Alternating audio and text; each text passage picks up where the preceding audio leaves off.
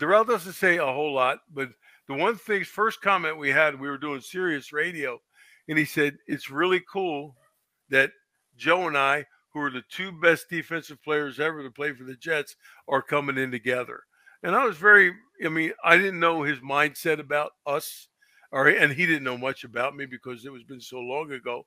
I mean, I played when they didn't have face masks, so you know.